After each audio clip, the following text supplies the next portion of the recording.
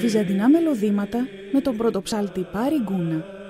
Γνωριμία με τους υπηρέτες του αναλογίου, τους διακονητές της ψαλτικής τέχνης.